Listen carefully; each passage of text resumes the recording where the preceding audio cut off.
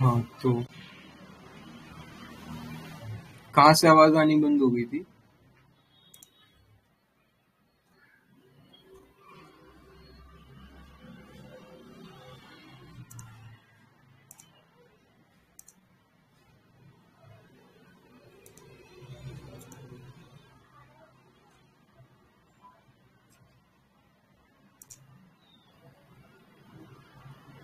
ये हो गया था क्या मतलब इसकी आवाज़ आ गई थी क्या यहाँ से?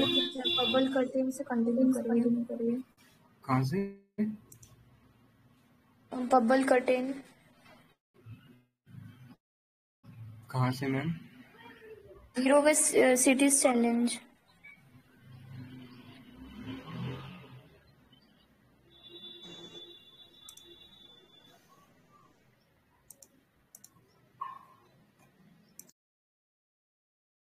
कहाँ से कंटिन्यू करूँ? कहाँ तक मतलब आपको आवाज़ आ रही थी? तो हो गया था भी तो हो गया उसके नीचे। ज़ीरो चैलेंज ना वहाँ से कंटिन्यू ना वहाँ से कंटिन्यू अच्छा ओके तो ज़ीरो वेस्ट सिटीज़ का एक ये कॉन्सेप्ट है। तो जो ये चैलेंज था ना ये एक यूके बेस्ड ये वाटर एड एनजीओ मतलब नॉन प्रॉफिट ऑर्गेनाइजेशन है उसने शुरू किया था। तो इसके अंदर तीन ही सिटीज़ अब तक अभी तक आई है। एक तो जो हाजनबर्ग है, साउथ अफ्रीका, एक ये हो चिंग मिन सिटी है, और फिर ये तीसरी सिटी इन्होंने गुवाहाटी को चूज़ किया है। तो इसके अंदर ये क्या कर रहे हैं कि जो भी एंटरप्रेन्योर्स है ना, जो कि हेल्प कर रहे हैं टू रिड्यूस और रिसाइकल वेस्ट और जो क्रिएट कर रहे हैं ग्रीन एम्प्लॉयमेंट अपॉर्चुनिटीज़ तो उसके लिए है ये। तो उसमें गुवाहाटी के ना दो ये एंटरप्रेन्योर्स है। एक तो श्री गुरु प्लास्टिक और इनसाइड आउट तो इन दोनों को ये अवार्ड्स अवार्ड मिला है एक टाइप का। तो इसमें यही थी तीन चीज़ याद रखना कि दो सिटीज़ तो बाहर की और एक इंडिया की गुवाहाटी चूज़ हुई है। और ये ऑर्गेनाइजेशन भी यूके बेस्ड है बेस्टेड फिर उसके बाद है ये बबल कर्टेन तो बबल कर्टेन जो क्या है कि एक फ़र्स्ट टाइम ऐसा टेक्नोलॉजी है जो कि स्टॉप करेगा प्लास्टिक को। From entering into the river Yamuna तो स्पेसिफिकली ये रिवर यमुना के लिए बनाया गया है। तो उससे क्या है कि आगे मतलब ओशंस में एंटर ना करे प्लास्टिक और मैरीन लाइफ को हार्म ना करे तो उसके लिए। तो एक दो चीज़ याद रखना कि एक तो जो बबल कर्टेन है वो यमुना रिवर के लिए है और प्लास्टिक को उसमें एंटर करने से रोकने के लिए है, ठीक है? तो इसके अंदर क्या होगा कि एक शीट होगी, बड़ी सी बबल की मतलब ऐसा एयर ट्यूब टाइप की तो उसमें से ना शिप्स और फ़िश तो पास कर सकते हैं through those air bubbles but plastic will stop तो प्लास्टिक को वो ऐसा कैप्चर कर लेंगे, फिर उसको खींच के बाहर निकाल लेंगे। तो ये है इसमें बस। फिर है वर्चुअल वाटर तो जो ये टर्म है आई आई टी गुवाहाटी की एक कोई टीम है, उसने ऐसा वर्चुअल वाटर एनालिसिस करने को बोला है। तो क्या होता है वर्चुअल वाटर तो वर्चुअल वाटर वो सारा वाटर है जो कि यूज़ होगा प्रोडक्शन में किसी भी फ़ूड आइटम या नॉन फ़ूड आइटम में। तो एक टाइप का इनविजिबल वाटर है जो कि कंज्यूम हो जाएगा in the life cycle of the product और सर्विस तो एग्ज़ाम्पल क्या है कि जैसे मान लो जो three thousand litre of water use होता है फॉर प्रोड्यूसिंग वन के जी ऑफ़ राइस तो जो ये three thousand litre of water है वर्चुअल वाटर है। तो ये है इसका तो ये हम क्यों कर रहे हैं वर्चुअल वाटर एंड कितना वाटर कहाँ यूज़ हो रहा है कौन सी सर्विस में ज़्यादा वाटर यूज़ हो रहा है कहाँ पर हम कम कर सकते हैं ये सब तो the right to repair movement एक है ये तो the right to repair electronic products uh, is a reference to the need for the government legislation that is intended to allow consumers the ability to repair and modify their own electronic devices. तो कहाँ से आया था? ये concept USA से आया था। और इसके अंदर क्या कि जो भी हमारे इलेक्ट्रॉनिक डिवाइसेस है, वो कंज्यूमर को अलाउ किया जाए कि वो उसे रिपेयर कर सके या मॉडिफाई कर सके। तो उसके लिए हमें गवर्नमेंट लेजिस्लेशन चाहिए। तो उसी को बोलते हैं right to repair electron right to repair movement तो ये इलेक्ट्रॉनिक प्रोडक्ट से रिलेटेड है। ज़ीरो लिक्विड डिस्चार्ज मींस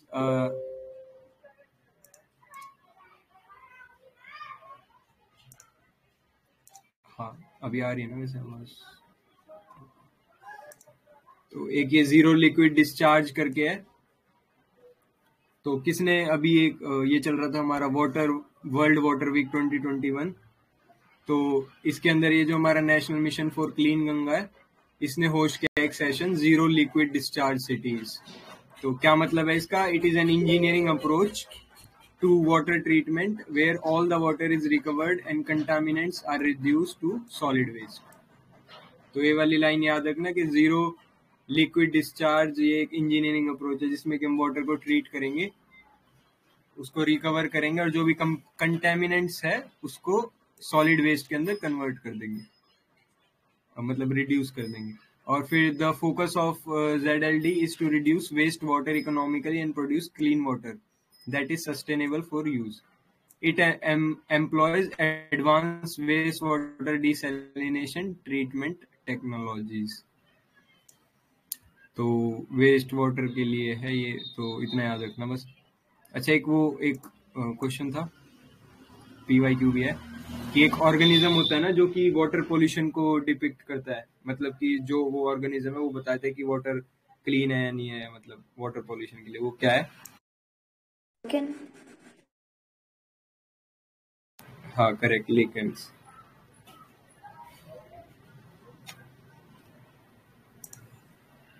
तो ये कुछ रिपोर्ट्स एंड इंडाइसिस है तो सिर्फ़ ऑर्गेनाइजेशन का नाम याद रखना और क्या काम है इनका वो याद रखना। तो सोलो नाम से है कि organisation state of the world land and water resources for food and agriculture तो जो ये ऑर्गेनाइजेशन है, ये किसने रिलीज़ किया अभी वाला रिपोर्ट एफएओ तो इटली में इसका हेडक्वार्टर तो क्या है इनका एम कि to take stock of implications of agriculture and recommend solution for transforming combined role of land and water global food तो जो भी हमारा फ़ूड सिस्टम है, उसको ट्रांसफॉर्म करने की बात कर रही है तो उससे रिलेटेड ये रिपोर्ट है. तो बस इतना याद रखना इस और एफ़ का है ये। फिर एक है impact of plastic pollution on fresh water aquatic terrestrial avian migratory species तो प्लास्टिक पॉल्यूशन के इम्पैक्ट को बताता है माइग्रेटरी स्पीशीज वगैरह पे। तो किसने लॉन्च किया है? Convention on migratory species CMS तो इसी को बोलते हैं बॉन कन्वेंशन भी है ये। तो ये याद रखना बॉन कन्वेंशन जो हमने पहले बात की थी ना। तो बॉन एक सिटी है जर्मनी में तो उस, उससे रिलेटेड नाम है बॉन कन्वेंशन तो ये बस प्लास्टिक वेस्ट के लिए बताते तो इतना ही इसमें फिर सीएमएस के बारे में देख लो कि बॉन कन्वेंशन भी बोलते हैं और यूनाइटेड नेशंस की एक एनवायरमेंट ट्रीटी है which provides global platform for conservation and sustainable use of migratory animals and their habitats. India भी एक पार्टी है और इसके अंदर ये इन्होंने लिस्ट बनाई है अपेंडिक्स वन और अपेंडिक्स टू तो अपेंडिक्स वन में क्या है कि वो वाली स्पीशीज डाल दी गई है जो कि थ्रेटनड है विद एक्सटिंक्शन और स्पीशीज जो अपेंडिक्स टू है, उसमें वो वाली स्पीशीज है that would benefit from international cooperation for their conservation फिर देखिए फ्रॉम पॉल्यूशन टू सॉल्यूशन करके एक रिपोर्ट रिलीज़ करी है। जो ये भी है प्लास्टिक पॉल्यूशन के ऊपर, ये किसने रिलीज़ करी यूएनईपी तो इम्पोर्टेंट है तो यूएनईपी के तो सभी रिपोर्ट्स इकोसिस्टम आर प्रोजेक्ट हाँ तो बस, ये इतना याद रखना कि प्लास्टिक पॉल्यूशन को कंट्रोल करने के लिए है।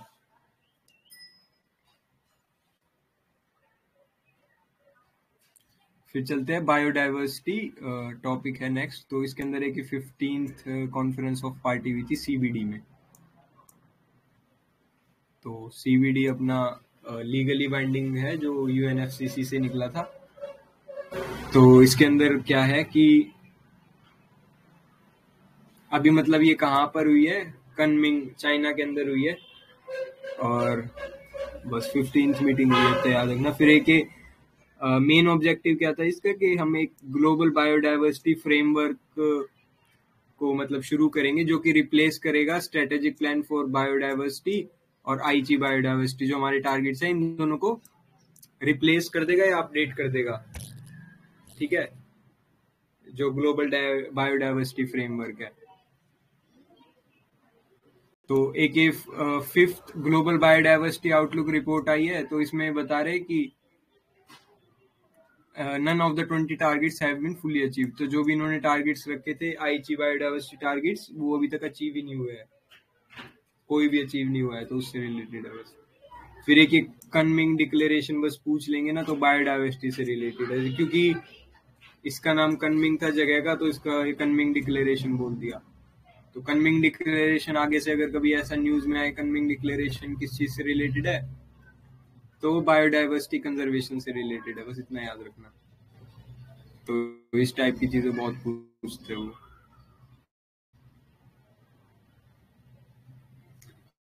तो याद रखना बायो ये ट्वेंटी टारगेट डिसाइड किए थे हमने अंडर फाइव स्ट्रेटेजी सीबीडी के अंदर किए थे ट्वेंटी टारगेट्स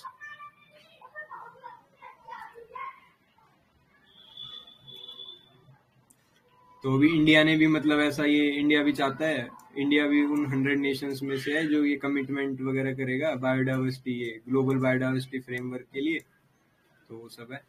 तो इसके अंदर एक ये है, पर pro sorry many countries to protect thirty percent of their land and seas area by twenty thirty इसको बोलेंगे हम थर्टी बाय थर्टी टारगेट तो ये, वो उसमें आ जाता है, ये टेस्ट सीरीज़ में पूछ लेते हैं थर्टीन टू थर्टी टारगेट क्या है? तो thirteen to target thirty target याद रखना, ये है लैंड और सी कंजर्वेशन के लिए. तो बस इतना इसमें मतलब याद रखना चीज़. ये है conservation of at least thirty percent of land and sea areas globally by twenty thirty तो थर्टी इंटू थर्टी टारगेट है। फिर एक इसके लिए बायोडाइवर्सिटी फंड भी बनाएँगे और ये ओपन मतलब प्राइवेट सेक्टर को भी इन्वॉल्व करेंगे। फिर एक ग्लोबल जो एनवायरनमेंट फैसिलिटी है हमारी, और यूएनडीपी और यूएनईपी ये सब इसके अंदर मतलब हेल्प करने वाले हैं। अच्छा एक क्वेश्चन था कि जो हमारा ग्लोबल एनवायरनमेंट फैसिलिटी है, वो कौन कौन से उसको सब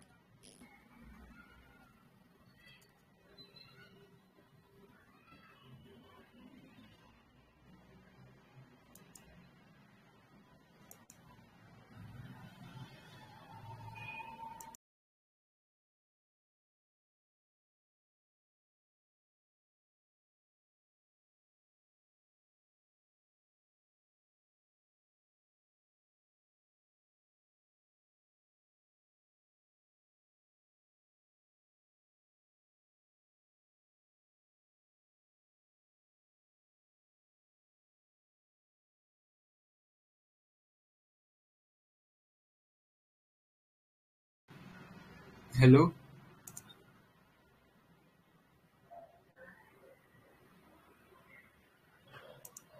हेलो your question?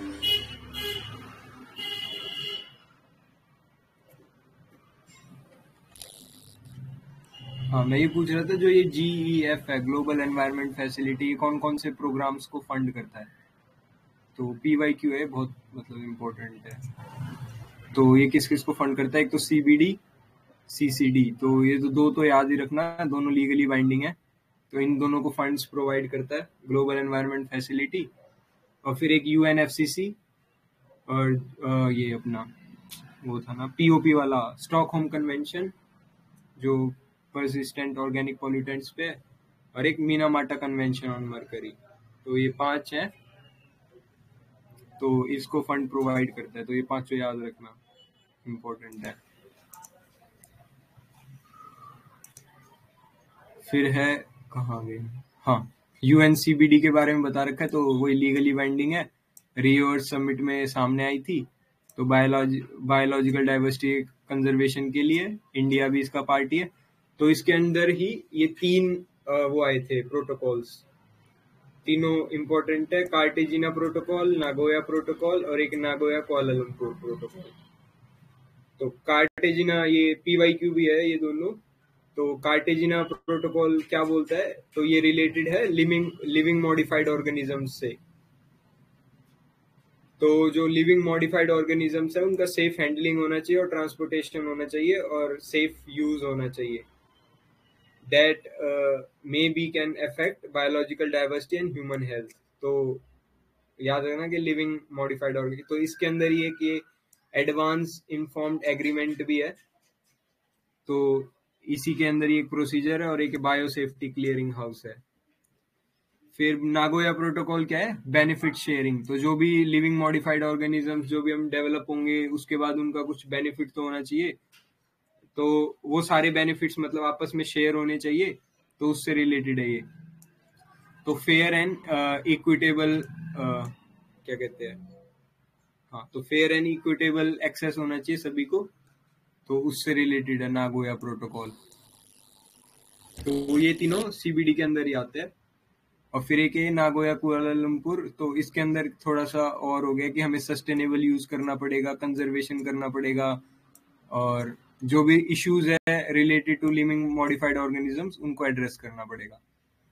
तो ये तीनों याद रखना। तो इससे जो रिलेटेड क्वेश्चन आया था ना, वो शायद यूँ आया था कि उसके अंदर तीन दे रखे थे। क्योटो प्रोटोकॉल दे रखा था, एक कार्टेजिना दे रखा था नागोया तो उसमें ऐसे मतलब स्टेटमेंट दे रखी थी कि इसके अंदर क्या क्या मेंशन है। तो याद रखना कि मेंशन हाँ उसमें एक ऐसे दे रखा था, शायद एनएक्स वन कंट्रीज़ करके दे रखा था। तो कार्टेजिना और अभी हमने नागोया देख ही लिया तो इन दोनों में कहीं पे एनएक्स वन कंट्री तो मेंशन है ही नहीं। तो वो क्योटो प्रोटोकॉल में मेंशन है। और एक क्लीन डेवलपमेंट मैकेनिज्म मतलब सीडीएम एक मैकेनिज्म है, वो भी क्योटो प्रोटोकॉल में मेंशन है। तो इसमें मेंशन नहीं है। तो ऐसी मतलब तीन स्टेटमेंट दे रखी थी। तीनों की तीनों जो थी, वो क्योटो प्रोटोकॉल से मैच कर रही थी। इन दोनों का कुछ भी नहीं दे रखा था उसमें। तो देख लेना पी वाई क्यू है वो भी। फिर एक ये ग्लोबल फ्रेमवर्क है for managing nature through twenty thirty तो जो हमारा यूएनसीबीडी है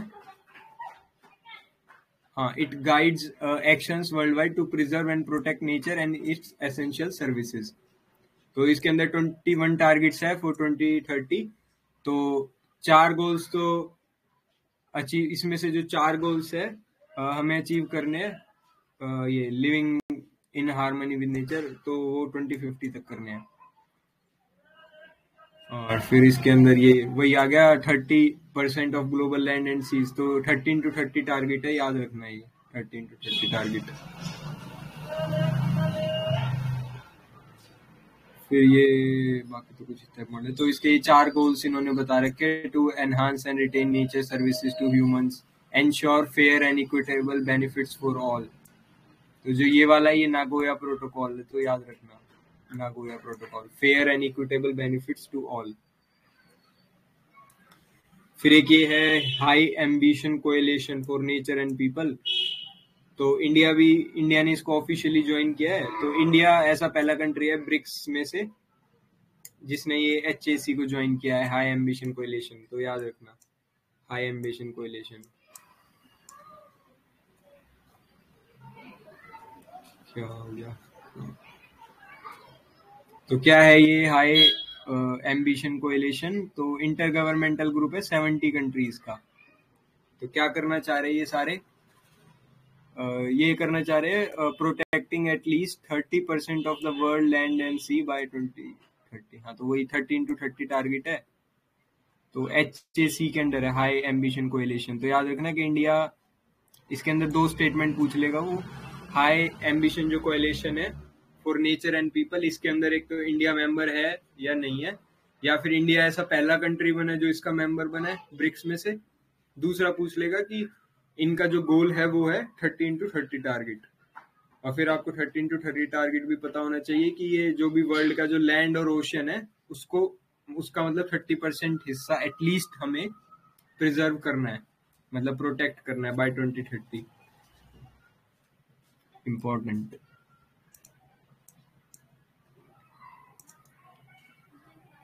फिर आएगा ये international conference on sustainability science तो इसका भी एट्थ ये कॉन्फ्रेंस हुआ है। तो किस चीज़ से बेस्ड है? How biodiversity based solution can contribute to sustainable development तो वही बायोडाइवर्सिटी के ऊपर है। फिर आता है बायोलॉजिकल डाइवर्सिटी अमेंडमेंट एक्ट 2021 तो 2002 में भी आया था जो बायोलॉजिकल डाइवर्सिटी एक्ट तो ये क्यों आया था इंडिया में? मतलब किसको फॉलो करना था? अच्छा ये नीचे लिख दिया हाँ तो to fulfil India's obligation under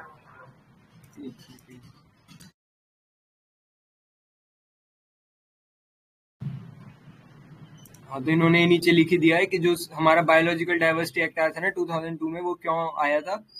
क्योंकि हमें जो ये सीबीडी हुआ था ना, और नागोया प्रोटोकॉल हुआ था तो on access and benefit sharing तो इन दोनों को ऑब्लिगेशंस को फुलफिल करना था, इसलिए हम बायोलॉजिकल डाइवर्सिटी एक्ट लेके आए थे।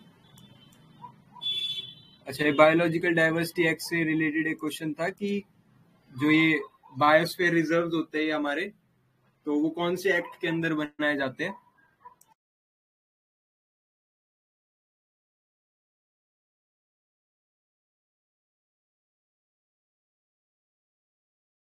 हाँ तो ये इम्पोर्टेंट चीज़ है कि जो हमारे बायोलॉजिकल वो सॉरी बायोस्फीयर रिजर्व्स है ना, वो कोई से भी एक्ट के अंदर नहीं बनते हैं। मतलब ऐसा वो डाल देंगे कि biology biosphere reserves are notified under biological diversity act 2002 तो वो बहुत रॉन्ग स्टेटमेंट है।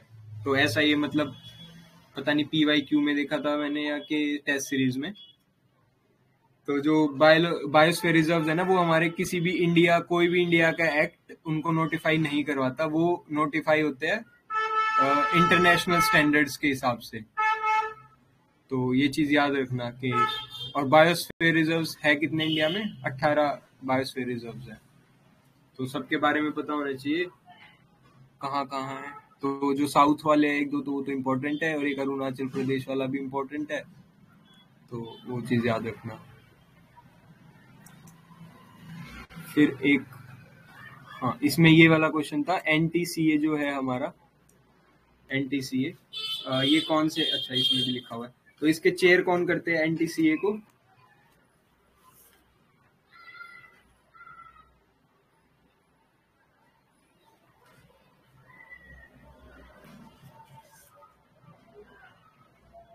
तो एनटीसीए जो है हमारा नेशनल टाइगर कंजर्वेशन अथॉरिटी एक तो डब्ल्यू एक्ट के अंदर आता है।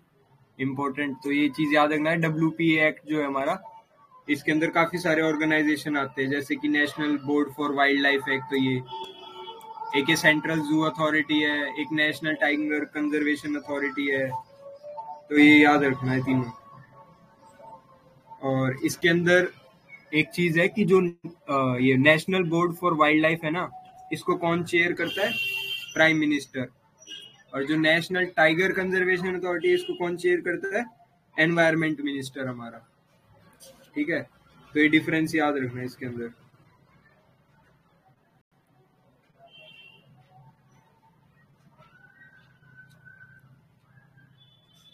और हाँ, आगे चलते हैं। तो ये बायोलॉजिकल मैनेजमेंट कमिटीज है that are responsible for people's biodiversity registers तो आगे पढ़ेंगे हम। तो ये कुछ ऑब्जेक्टिव्स है इस अमेंडमेंट के, कि हम वाइल्ड लाइफ प्रेशर रिड्यूस करें on wildlife medicinal plants और एनकरेज करें कल्टीवेशन ऑफ़ मेडिसिनल प्लांट्स तो ये सब इम्पोर्टेंट मेंस के लिए बस। फिर कुछ अमेंडमेंट्स प्रपोज किए गए हैं कि एक तो आयुष जो मेडिकल प्रैक्टिशनर्स है, उनको रजिस्टर्ड किया जाए, ताकि जो इंडियन सिस्टम ऑफ़ मेडिसिन है, वो भी बहुत प्रमोट हो इससे। तो वो है बस। और फिर है कि simplifying access to biological resources and intellectual property rights. तो एक ये हमारी अथॉरिटी होती है ये भी पी वाई क्यू है एन बी ए कौन सी अथॉरिटी है ये? हाँ ये वाली स्टेटमेंट तो U Q P Y Q है ये पीवाईक्यू में पूछा गया था कि जो national board national biodiversity board है, उसकी परमिशन के बिना आप कोई भी ऐसे मतलब ये रजिस्टर नहीं कर सकते हो इंटेलेक्चुअल प्रॉपर्टी राइट ऑन ये हाँ ये रहा ये रहा. Applicants can now obtain NB approval before the grant of IPR ना? हाँ तो पहले क्या होता था कि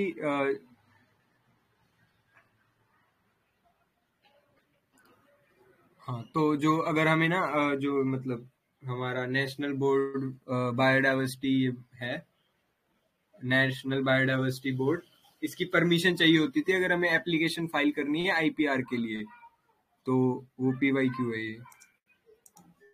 तो इम्पोर्टेंट है तो याद रखना। और इसमें दो दो स्टेटमेंट पूछी गई थी। एक सेकंड देख लेता हूँ।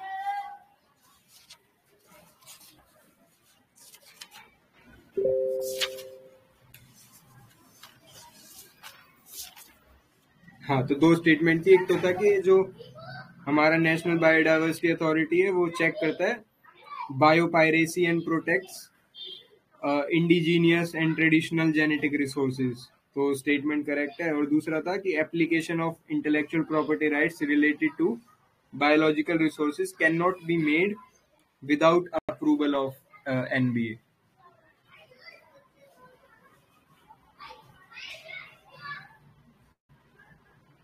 तो ये था दो स्टेटमेंट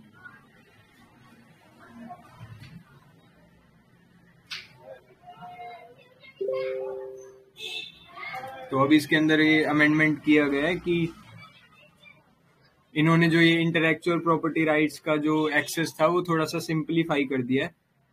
तो पहले क्या होता था कि अगर हमें किसी फॉरेनर को अप्रूव वो सॉरी परमिशन चाहिए तो वो नेशनल बोर्ड के पास जाता था। और इंडियन को परमिशन चाहिए तो वो स्टेट बोर्ड के पास जाता था। स्टेट बायोडाइवर्सिटी बोर्ड तो अभी क्या है कि application can now obtain NBA approval before the grant of IPR तो उनको अप्रूवल मिल सकता है before the grant of IPR and not before applying for RPR तो अप्लाई से पहले नहीं बट मतलब ग्रांट से पहले अप्रूवल चाहिएगा। पहले उसमें क्या था कि एप्लीकेशन फ़ाइल करने के लिए भी एनबीए का अप्रूवल चाहिए होता था, लेकिन अब आप अप्लाई तो कर सकते हो, लेकिन ग्रांट होने से पहले अप्रूवल चाहिए। तो इम्पोर्टेंट स्टेटमेंट है तो इस साल यही पूछ सकते हैं। तो needs approval who does not need approval from NBA to access by law must give prior intimation हाँ। तो वही अभी भी मतलब इसमें स्टेट बोर्ड्स का अभी भी कंट्रोल है। तो बस ये वाली स्टेटमेंट याद रखना इम्पोर्टेंट है। तो ये वाला इसमें बड़ा चेंज कर दिया गया। फिर इसके अंदर कुछ ऑफेंसेस भी है कॉग्निजिबल और नॉन कॉग्निजिबल और फिर ये क्या है state government will prescribe the composition of ये बी एम बीएमसीज और बस ये state can declare threaten species और एक्सपेंशन ऑफ़ एमबीए तो इन्होंने थोड़े मेंबर्स भी बढ़ा दिए गए। अब इसके अंदर छह तो एक्स ऑफिशियो मेंबर्स है। चार रिप्रेजेंटेटिव है एक मेंबर सेक्रेटरी है। इतना इतना याद रखना इसमें। आईपीआर वगैरह देता है और ये सब देता है। फिर आते हैं wildlife protection amendment bill तो ये जो हमारा बिल है आ, 1972 के एक्ट को ही अमेंड कर रहा है। अभी बिल है तो अभी एक्ट नहीं बना। तो जो हमारा 1972 वाला था वो क्या था? उसमें ये अपने छह स्केड्यूल होते थे तो छह स्केड्यूल के अंदर तो याद रखना कि पहला और दूसरा स्केड्यूल तो इम्पोर्टेंट है तो स्केड्यूल वन वाले सबसे ज़्यादा प्रोटेक्टेड है, फिर उससे सेकंड वाले थोड़े कम प्रोटेक्टेड है थर्ड वाले और थोड़े से कम प्रोटेक्टेड है फोर्थ वाले और थोड़े से कम प्रोटेक्टेड है, और फिफ्थ वाले वर्मिन एनिमल्स थे वर्मिन एनिमल्स मतलब जिन्हें आप हंट कर सकते हैं, ठीक है, और स्केड्यूल सिक्स में प्लांट्स थे तो अभी जो ये नया अमेंडमेंट आ रहा है हाँ सॉरी जो वो पुराने वाला अमेंडमेंट था ना उसमें क्या था कि ये चार चीज़ें भी थी। National parks wildlife sanctuaries community reserves और कंजर्वेशन रिजर्व्स ये सब नोटिफाई uh, होते थे। ठीक है? तो ये था। और इसके अंदर uh, जो कम्युनिटी रिजर्व्स होते हैं वो तो प्राइवेट लैंड पे होते हैं कंजर्वेशन रिजर्व्स होते हैं पब्लिक लैंड पे। तो ये भी याद रखना डिफरेंस और नेशनल पार्क्स और वाइल्ड लाइफ सेंचुरीज जो थी हमारी नेशनल पार्क्स थोड़े ज़्यादा मतलब स्ट्रिक्ट टाइप के होते हैं, फिर वाइल्ड लाइफ सेंचुरीज फिर उसके ऊपर बायोस्फीयर रिज़र्व छह स्केड्यूल थे इसके अंदर, एक तो प्लांट से रिलेटेड था, एक वर्मिन एनिमल से रिलेटेड था, बाकी चार प्रोटेक्टेड एनिमल्स अभी जो नया अमेंडमेंट आ रहा है, वो क्या बोल रहा है? कि इसके अंदर छह से घटा के चार स्केड्यूल कर देंगे, ये तो पहले वाला स्केड्यूल तो वही होगा कि हाईएस्ट लेवल ऑफ़ प्रोटेक्शन मिलेगा एनिमल्स को। फिर स्केड्यूल टू में लेसर प्रोटेक्शन ऑफ़ एनिमल फिर थर्ड में प्लांट्स डाल दिए इन्होंने और फोर्थ में ये जो भी साइट्स जो हमारा एग्रीमेंट है उससे रिलेटेड uh, जो एनिमल्स है वो यहाँ डाल दिए। तो इसमें वर्मिन एनिमल्स तो खत्म ही कर दिया है तो याद रखना। फिर साइट्स क्या है हमारा कि convention on international trade of endangered species of wild wild flora and fauna तो uh, इसका जो रेजोल्यूशन था 1963 में अडॉप्ट किया था मीटिंग हुई थी आईयूसीएन वालों की तो उन्होंने और फिर फाइनली एग्रीड इन 1973 और 1975 में फोर्स में आ गए। तो क्या बोलता है ये? एक international trade in wild animals and plants does not threaten the survival तो हम ऐसे मतलब प्लांट्स एनिमल्स का ट्रेड नहीं कर सकते अगर उनका सर्वाइवल जो है वो खतरे में है। तो सेक्रेटरीट कहाँ है? यूएनईपी में ही है। और कहाँ लोकेट करता है? जिनीवा, स्विट्जरलैंड में। हाँ sorry administered by UNEP but located at Geneva, Switzerland तो इंडिया भी पार्टी है साइट्स का। तो तीन अपेंडिक्सेस निकालता है। Appendix one appendix two appendix three तो याद रखना मतलब फ़र्स्ट वाला सबसे ज़्यादा होगा, फिर कम फिर कम। वैसे लीगली बाइंडिंग है। जो भी इसके पार्टीज़ है ना, जिन्होंने इस पे साइन किया है, उनके लिए लीगली बाइंडिंग है। तो ये भी चीज़ याद रखना। फिर इसके अंदर जो भी मतलब बिल है तो इतना इम्पोर्टेंट नहीं है। हाँ तो जो हमारा पुराना एक्ट था ना, उसके बारे में याद रखना कि वो क्या क्या बोलता था। तो वो आपको पता होना चाहिए कि जो हमारे wildlife protect sorry national parks और ये है अपने वाइल्ड लाइफ सेंचुरीज उसके अंदर क्या क्या डिफरेंस है। तो जो हमारे नेशनल पार्क्स है तो क्या है, उनके अंदर एक कोर जोन होता है, एक बफर जोन होता है तो ये याद रखना कोर जोन बफर जोन और कौन नोटिफाई कर सकता है नेशनल पार्क्स को? एक तो वाइल्ड लाइफ प्रोटेक्शन एक्ट के अंदर होते हैं और डिक्लेयर कौन करते हैं नेशनल पार्क स्टेट गवर्नमेंट तो ये चीज़ याद रखना। और नेशनल पार्क थोड़ी ज़्यादा मतलब प्रोटेक्टेड होते हैं देन वाइल्ड लाइफ सेंचुरीज और दोनों के अंदर होता है कोर जोन बफर जोन और वाइल्ड लाइफ सेंचुरीज जो और ये नेशनल पार्क होते हैं ना, इनको सेंट्रल गवर्नमेंट भी डिक्लेयर कर सकती है अंडर स्पेसिफिक कंडीशंस और वाइल्ड लाइफ सेंचुरीज थोड़ी सी मतलब कम स्ट्रिक्ट होती है तो उसके अंदर मतलब थोड़ा हैबिटेट टाइप भी रख सकते हैं। और जो सेंट्रल गवर्नमेंट होती है मे ऐड और delete the wildlife sanctuaries और नेशनल पार्क्स और एक और चीज़ याद रखना कि जो नेशनल पार्क्स होते हैं ना, उनकी एक बाउंड्री होती है, लेकिन जो वाइल्ड लाइफ सेंचुरी होती है, उनकी कोई ऐसी बाउंड्री फिक्स नहीं होती। तो डिफरेंस ज़्यादा याद रखना मतलब उनका तो अभी तो ये बिल आया है जो न्यूज़ में है तो इतना इम्पोर्टेंट नहीं है, लेकिन इससे जुड़ा जो स्टेटिक पार्ट है, वो बहुत इम्पोर्टेंट की होती है ना हमारी। वो नेशनल पार्क्स में हम कर सकते हैं, लेकिन उसके लिए परमिशन वगैरह चाहिए होती है। लेकिन वैसे मतलब रिस्ट्रिक्टेड होती है नेशनल पार्क्स में कोई भी रिसर्च एक्टिविटी करना, लेकिन बायोस्फीयर रिजर्व्स में कर सकते हैं हम। रिसर्च एक्टिविटी कोई भी। और कम्युनिटी रिजर्व्स और ये तो हमने देख ही लिए। तो कंजर्वेशन रिज़र्व होते हैं किसी भी पब्लिक लैंड पे मतलब जो ऑलरेडी एग्जिस्टेड है। लेकिन जो कम्युनिटी रिज़र्व होते हैं, वो थोड़े प्राइवेट टाइप के लैंड होते हैं। और डब्ल्यू के अंदर और वो भी चीज़ याद रखना कि एक वो होता है ना कोस्टल प्रोटेक्टेड एरियाज़ वो भी डब्ल्यू के अंदर ही मेंशन है। कोस्टल प्रोटेक्टेड एरियाज़ तो ये याद रखना। और इकोनॉमिक सेंसिटिव जोन हाँ वो कहाँ पर मेंशन है? वो ईपीए e के अंदर मेंशन है। मतलब डायरेक्टली मेंशन नहीं है, पूरा टर्म बट इनडायरेक्टली तो वो भी पी वाई क्यू है तो वो याद रखना।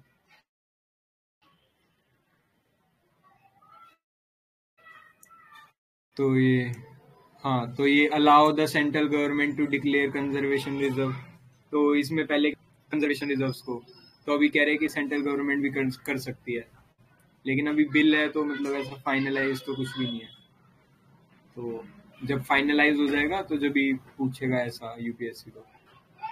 तो Maharashtra became the first state to release its own wildlife action plan तो ये चीज़ याद रखना। और एक ये चीज़ याद रखना कि it has approve the extension of the boundary of Tadoba Andhari tiger reserve तो ये वाला टाइगर रिज़र्व कहाँ पर है? महाराष्ट्र इम्पोर्टेंट है, याद रखना। टाइगर रिज़र्व तो हमारे सारे याद रखना। मेरे ख्याल फिफ्टी टू टाइगर रिज़र्व है। तो पता होनी चाहिए कहाँ कहाँ है कौन सा कौन सा है। हाँ तो जैसे इन्होंने ये बोला है ना कि no renewable of any arm licence granted to the तो जो हमारा होता है ना चीफ वाइल्ड लाइफ वार्डन इससे परमिशन लेनी पड़ती है। अगर हमें कोई भी साइंटिफिक रिसर्च वगैरह करनी है ना तो इससे परमिशन लेनी पड़ती है नेशनल पार्क से सेंचुरीज के अंदर। लेकिन बायोस्फीयर रिज़र्व में अलाउड होता है ऐसा। बस यही मतलब स्टेटिक पार्ट पे थोड़ा ज़्यादा फोकस करना। करंट में अगर इतना नहीं भी पता है तो भी चल जाएगा काम। स्टेटिक पता होना चाहिए इससे रिलेटेड सारा। फिर आगे क्या है इसमें? Plant varieties and farmers rights act है 2001 का। तो अभी जो ये हमारी पेप्सिको वाला केस हुआ था गुजरात का तो उससे रिलेटेड है। तो ये कैसे इनेक्ट किस एक्ट के अंदर इनेक्ट किया गया था?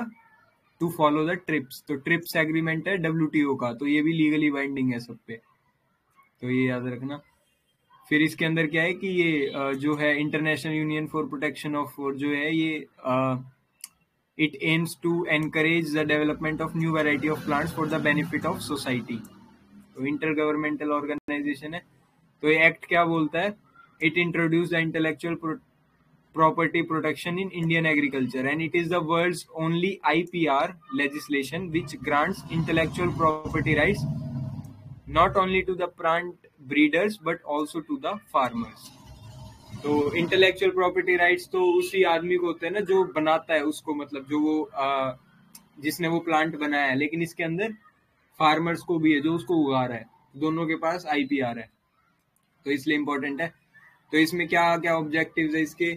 एक तो रिकॉग्नाइज करेगा और प्रोटेक्ट करेगा राइट ऑफ़ फार्मर्स एक्सेलरेट करेगा एग्रीकल्चर डेवलपमेंट फैसिलिटेट करेगा ग्रोथ ऑफ़ सीड इंडस्ट्री और इंस्टीट्यूशनल मैकेनिज्म है इसके कुछ के, एक तो रजिस्टर करना चाहिए आपको जो भी नई प्लांट वेराइटी आएगी। डेवलपिंग डी मतलब डिस्टिंक्टिवनेस यूनिफॉर्मिटी एंड स्टेबिलिटी तो एक टेस्ट गाइडलाइंस है तो ये पूरी होनी चाहिए। मतलब उस जो नई प्लांट स्पीशीज डेवलप होगी, वो डिस्टिंक्टिवनेस होनी चाहिए, उसके अंदर यूनिफॉर्मिटी होनी चाहिए और स्टेबिलिटी होनी चाहिए। तो ये सब है। फिर एक नेशनल जीन बैंक हम बनाएँगे टू स्टोर सीड मटेरियल तो हमने एक पहले पढ़ा था ना सीड वोल्ट जो है लार्जेस्ट इंडिया का कहाँ पर है लद्दाख फिर उससे रिलेटेड एक ये प्रोटेक्शन एपिलेट ट्रिब्यूनल बनाएँगे, जिसका हम चैलेंज भी कर सकते हैं डिसीज़न हाई कोर्ट में। और जिसको एक साल के अंदर अंदर वो मैटर डिस्पोज ऑफ़ करना पड़ेगा। तो ये है तो इसमें बता रखा है कि ब्रीडर्स राइट है कुछ, जिसने वो बनाया है मतलब कि right to produce sell market distribute import export registered variety फिर एक रिसर्चर्स राइट है जिसने रिसर्च करी है, फिर एक फार्मर्स राइट है इसके अंदर। तो ये सब है। एक फिर एक नेशनल जीन फंड भी एक तैयार कर रही है। तो उसके अंदर farmer shall not liable to pay any fee in proceeding before the authority और रजिस्ट्रार और द ट्रिब्यूनल और high court it will be paid through national gene fund तो जो भी रजिस्ट्रेशन होगा फार्मर का, उसके लिए नेशनल जीन फंड से पैसा जाएगा। मतलब फार्मर को कुछ भी करने की ज़रूरत नहीं है पैसा देने की। तो आज के लिए इतना ही रोक लेते हैं। तो कल करते हैं। Thank you guys for joining the session